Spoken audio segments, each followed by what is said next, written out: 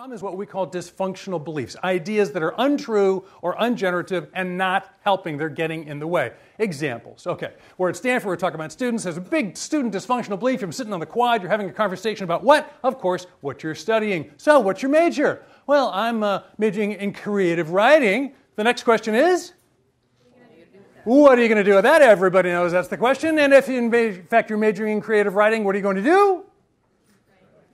Be unemployed. That's right. You know what you're going to be. Um, no, that turns out to be a massively dysfunctional belief. It turns out within 10 years of graduation, 80% of people with a college baccalaureate are working outside their field of major study.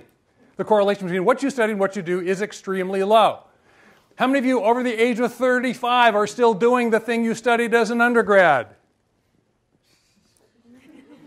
Are you willing to say I'm over 35? Okay, it's not zero. Here's the deal. So that's it just doesn't work. It's just stupid. Uh, now, dysfunctional belief number two, our personal favorite. What's your passion?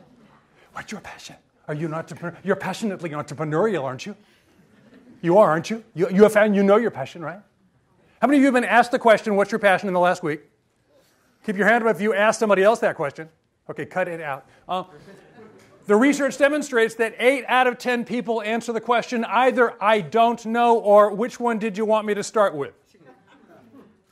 Now, in either case, zero or many, what your passion is lousy guidance. It may be wonderful. We're kind of getting a rep as the anti passion guys. That's not fair. We're not anti passion. We're anti presuppositional singular passion as an organizing principle preceding all other behaviors. I.e., you knew up front and it was going to work out fine. If you happen to know that passion clearly and you are competent to do it and the world is interested in it at the same time commercially, great, you're called lucky. That's what we call that. But that's not a good place to start.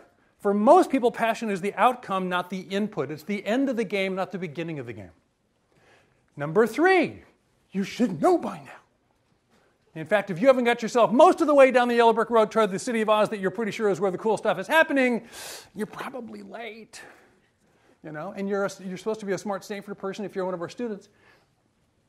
How many of you have ever felt late? For what?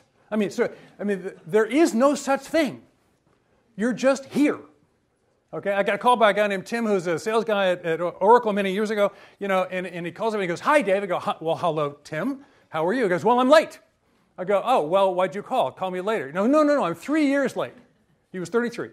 And he said, he was three years late. I said, I don't think so. He goes, no, I really am. Trust me, I'm really three years behind.